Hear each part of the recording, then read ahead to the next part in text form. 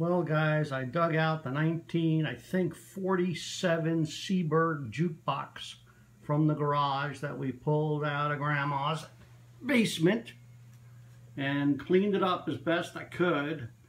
Uh, it was pretty filthy, a lot of years. Uh, and then I uh, wired it up as best I could. There's a lot of parts missing. But Alexa, turn on the jukebox.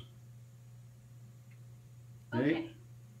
So Alexa can turn it on, and then we can tell Alexa, uh, Alexa, play Beach Boy songs. It's by the Beach Boys.